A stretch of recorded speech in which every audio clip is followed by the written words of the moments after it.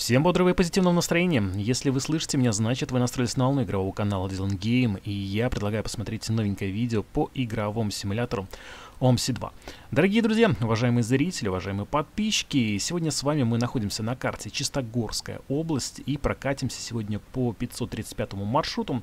Стартуем мы от остановки Коренева, то есть от автостанции, и следуем до конечной остановки поселок Новый Свет. Преодолеем мы этот маршрут на автобусе немецкого производства. Перед нами Сетра S215SL, есть версия UL, у нас SL. -ка.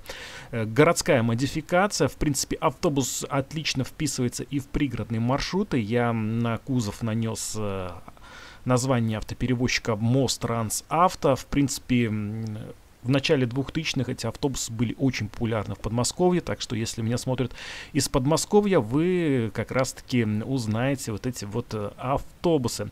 Автобусы производились начиная с 1983 года и продержались на конвейере вплоть до 1996 года. Вот такой вот высокопольный автобус. Как видим в передней части автобуса у нас трехмерное, трехрядное расположение пассажирских мест, а сзади же четырехрядное. Вот места для крутых парней.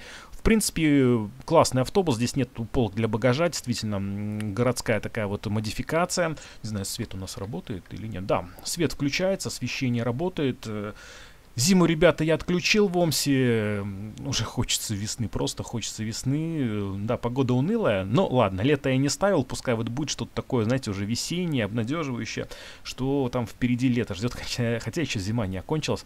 Что мне нравится вот в версии SL, ребят, насколько круто сделано. Посмотрите, какое остекление, панорамное стекло, насколько много света в автобусе. Очень классно выполнено.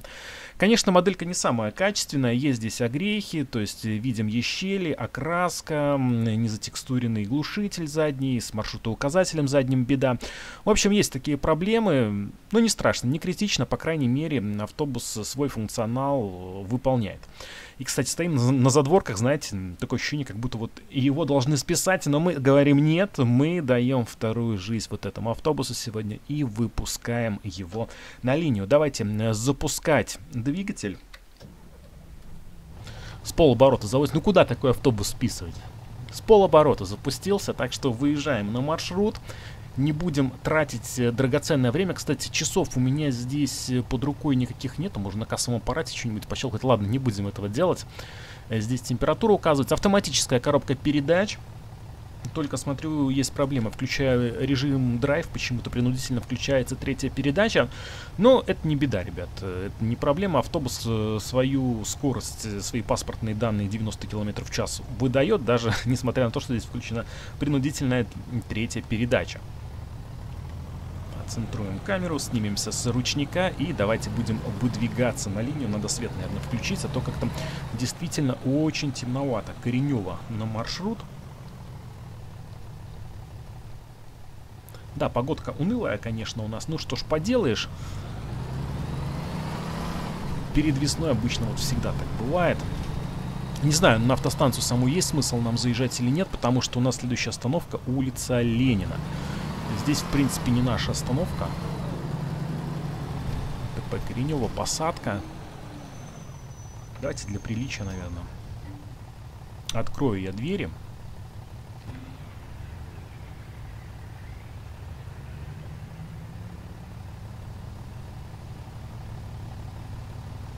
Кстати, двери, знаете, что здесь открывается? Здесь нужно включать стояночный тормоз. Я вот что-то нажимаю кнопки, ничего не открывается. Вот нажал стояночный тормоз, двери открылись.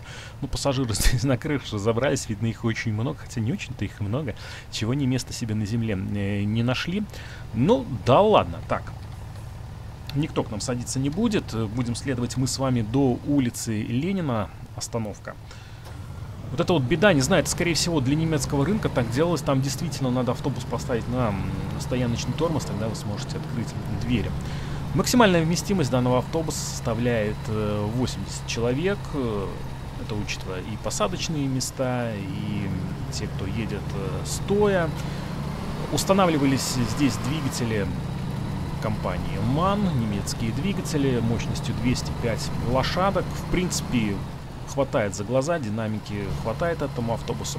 Сейчас, наверное, на автостанцию зайдем и с вами развернемся, потому что пассажиры точно там никакие садиться не будут. Так, красный сигнал светофора горит у нас. Чуть-чуть притормозим.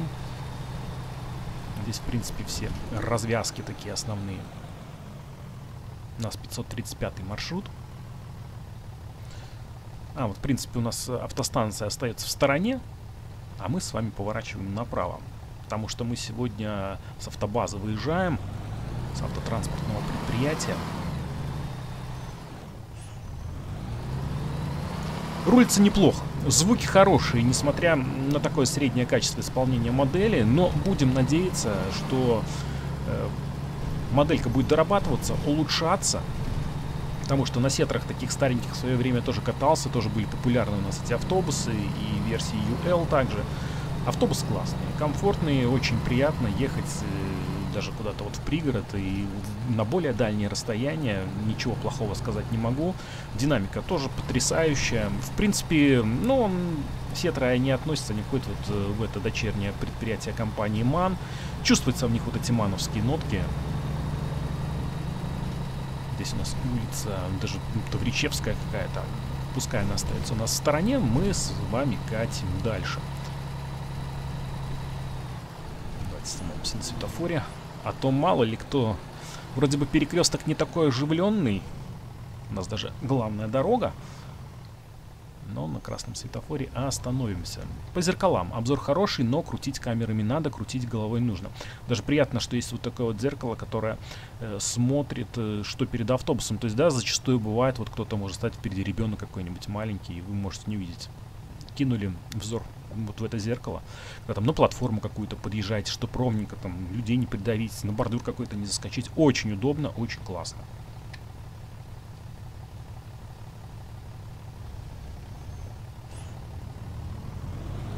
Не, ну площадь остекления, конечно, просто потрясающая. Вот на таком автобусе действительно можно, знаете, экскурсии делать по городу, потому что будете ехать, будете видеть просто все.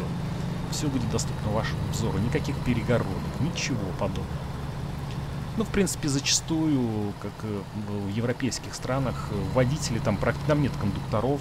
Даже, я хочу вам сказать, не везде есть электронная система оплаты билетов тоже попадаются такие вот города, так что тут с трафиком непонятная машина появляется и исчезают.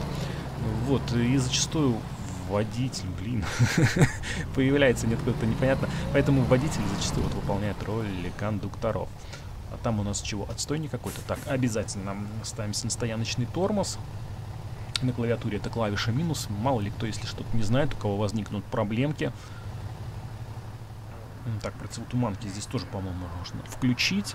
Ну, фары, конечно, свет фар такой тускловатый, даже какой-то непонятный, холодный цвет, не очень приятный.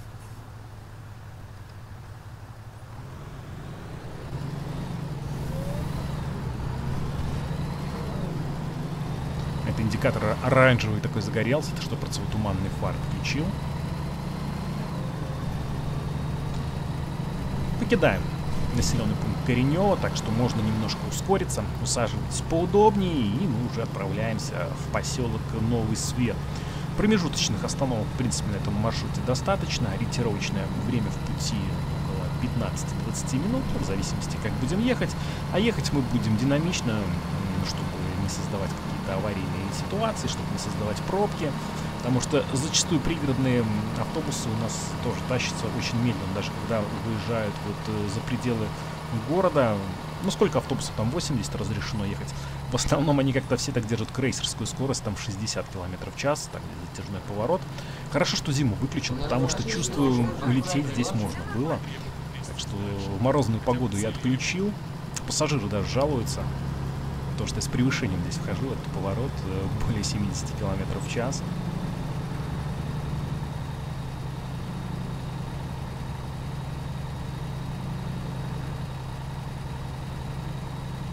пассажиры в салоне. Ну, кто-то стоя едет, кто-то сидя. Кому как нравится. Вот в Протонбас как-то реализовано, э, пассажиры изначально занимают все посадочные места. И там в основном, ну есть, есть такие моды, где там стоя, по-моему, едут пассажиры. Так в основном все стараются как-то сидя ехать. пустых мест там не остается. В Омсе же они хаотично, тут это все делается. Конец ограничений, конец обгона, так что можно притопить. Двухполоска начинается у нас.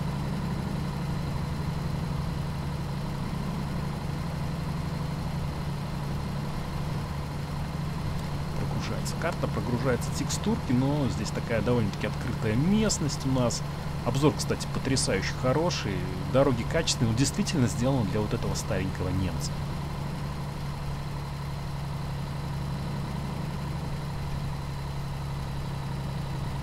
У нас тоже уже эти многие автобусы списаны. Практически этих сетр э, серии S215 не осталось. И я видел, в автобусном парке стоит э, сетра. Там даже, по-моему, 213 какая-то сетра.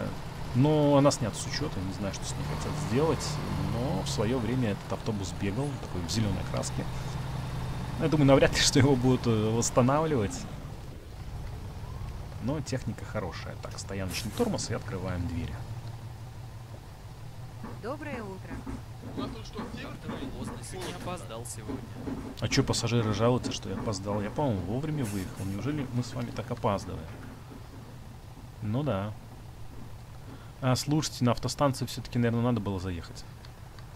Что-то я проигнорировал автостанцию, а у меня остановка зависла. Давайте посмотрим. Угу, на автостанцию надо было, ребят, заглянуть, я сразу на улице Ленина попер. Ладно, я чувствую, вот там пассажиры сейчас на автостанции, вот они локти кусают. Где же автобус? Куда он делся? Он уже уехал. Поэтому нам первая остановка не засчитана. Ой, чувствует начальство, получим нагоняемые.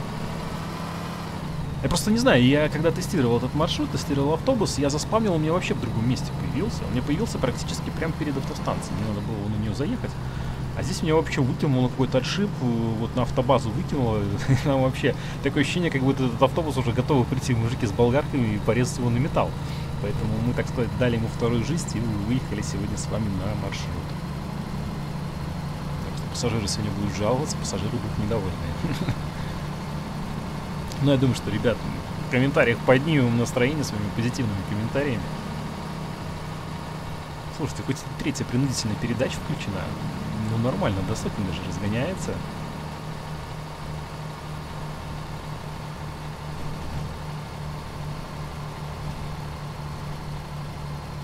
Здесь смотрю, интервалы между остановками по 4 минуты составляют в основном. Там дальше в поселке вот Новый Свет будет э, две остановки.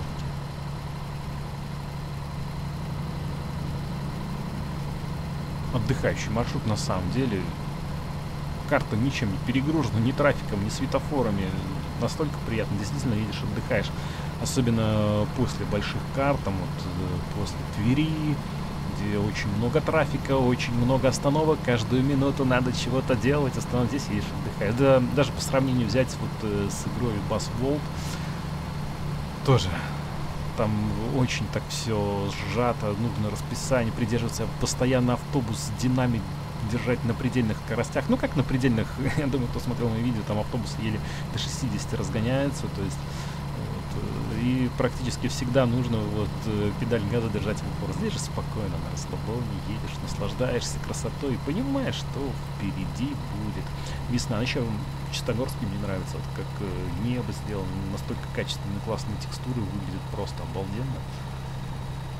Как вот по-настоящему. Вот. Словно действительно едешь за рулем старенькой сетры, старой надежной сетры. По возможности надо будет, наверное, еще освежить видео и по сетре 215 UL. Она как раз таки у меня стоит. И вот версия SL появилась. Она, кстати, вместе выбивается, когда выбираешь вот UL э, и SL версия.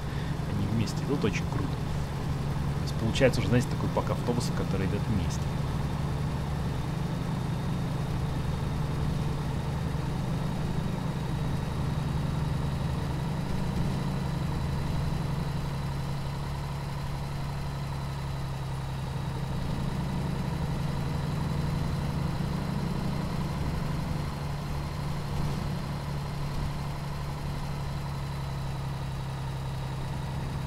Еще даже очертания Луны на небе есть. Вот мне кажется, как-то в Омсе что-то запрограммировано с погодой, потому что, я не знаю, тоже полнолуние. Сейчас полнолуние. Полная луноводь. Здесь как-то это все совпадает. И я еще смотрел, что есть возможность вообще поставить и данные погоды, он все будет брать из интернета именно вот для вашего региона. То есть там у вас не, даже вплоть до атмосферного давления. Это вообще прикольно. Я, конечно, до такого еще не доходил, но как-то будет, надо попробовать, степной. Такой поселочек нас встречает. Кстати, заправка здесь достойная. Лукойл. У нас, наверное, с топливом там все... Да, с топливом у нас полный порядок.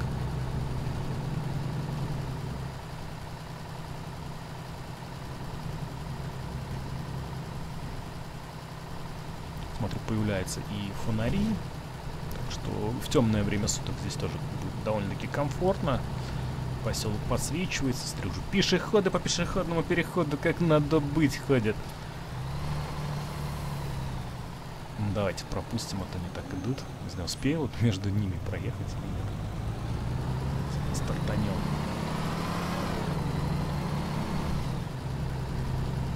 А то они тоже могут туда-сюда ходить. Такой карманчик здесь есть. Заехать можно. Но пассажиры сами же чуть ли не на дорогу выбегают, заждались автобуса.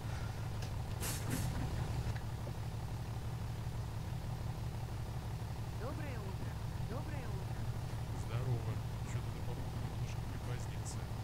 Да, жалуются, что опаздываем. Ну, ничего, к сожалению, я поделать с этим не могу.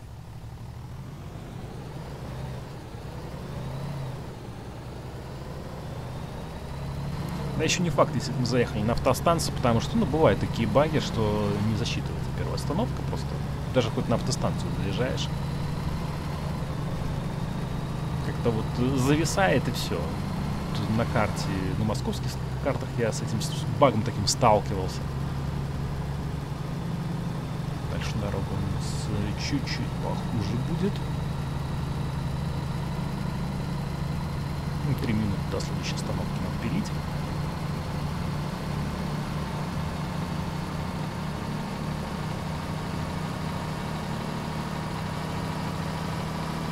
Слушайте, не знаю, 110 почти, ну походу все, вперлись мы в предел, уже дальше автобус скорость не набирает.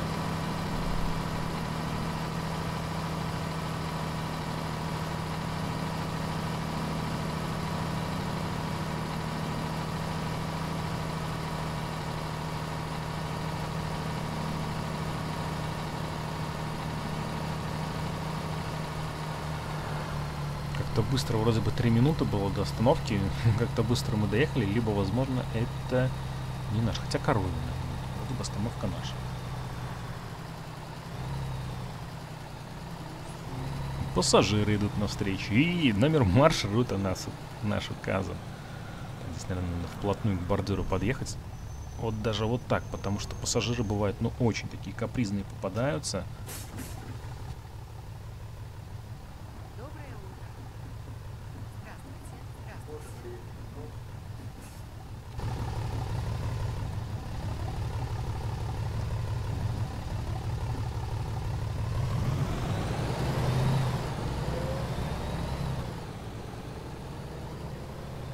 Хотя вот версия UL мне больше нравится. Ну, но, правда, и пригородная. Это все-таки уже такая более городская версия. У нее вот форма кузова, все это 215 UL, такая довольно-таки очень интересная. Сзади такой немножко скос идет. И двери там, по-моему, вторые они идут двухстворчатые, а передняя широкая, но створка одна открывается вовнутрь. Здесь у нас такие двери уже планетарного типа вовнутрь открываются, что впереди, что сзади.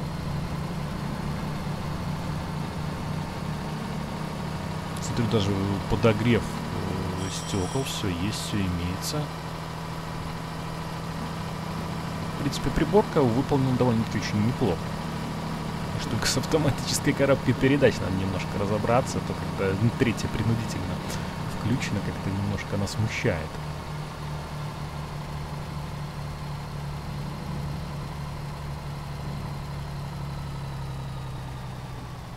Ну и добро пожаловать в поселок Новый Свет, железнодорожный переезд и Ну, за газелька встала. Нельзя нормально ехать. Просто, просто она решила тут стать. Нет, смотрю, едет. Наверное, чувствовал, что мы приближаемся.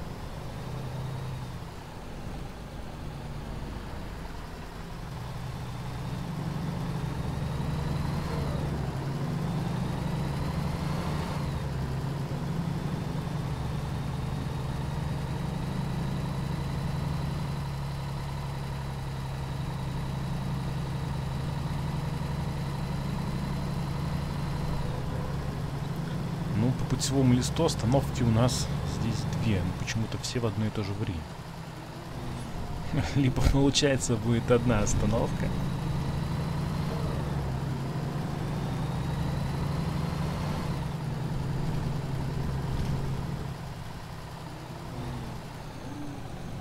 Ничего себе, даже тут заезжать надо.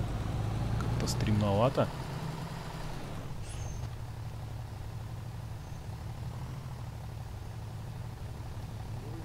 Ой, нельзя ехать. Ой, хорошо, что зиму отключил. Вот чувствую, тут бы уже проблемы были бы.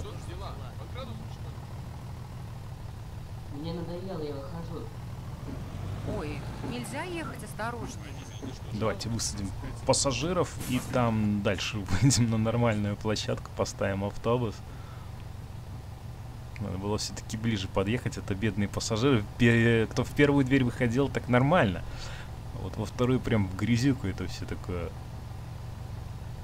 Ну, зачастую весной в сельской местности так и есть. Без резиновых сапог никуда самая лучшая обувь.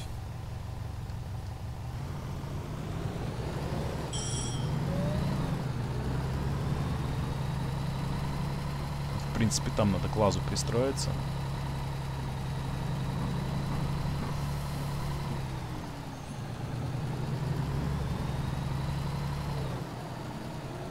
Ну вот, в принципе, ребята, конечная стоянка 535 маршрута. Ставимся на ручной тормоз.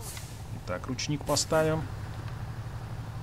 Ну вот, пассажиры выходят, так что добрались без серьезных происшествий. Вот такой вот старенький немец нас сегодня не подвел. Вам, как всегда, огромнейшее спасибо за просмотр, ребят. Всем спасибо, всем пока и до скорых встреч.